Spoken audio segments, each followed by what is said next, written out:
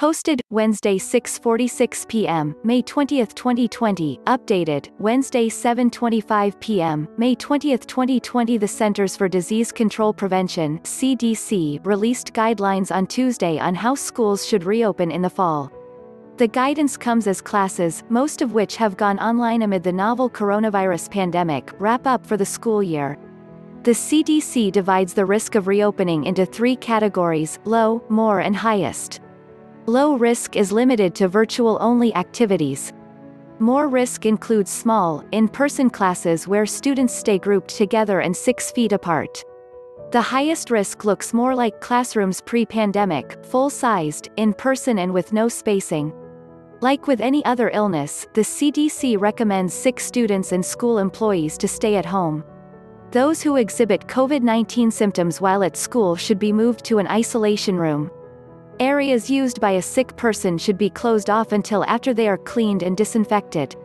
The CDC recommends this not happen until 24 hours after the building closes which means some schools could close down for at least two days. The CDC encourages staff members and older students to wear masks or face coverings.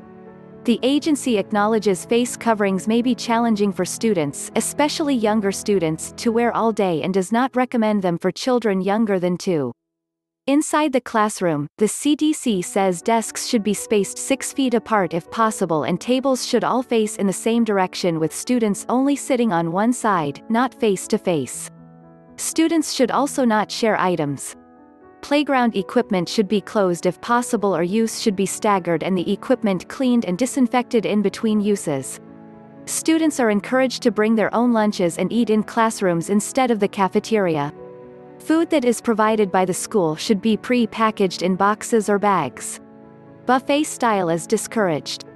As for transportation, the CDC says arrival and drop-off times or locations should be staggered by cohort or other protocols should be used to limit contact between cohorts and direct contact with parents as much as possible. You can read a full list of the CDC's recommendations here, which it calls ways in which schools can help protect students, teachers, administrators, and staff and slow the spread of COVID-19.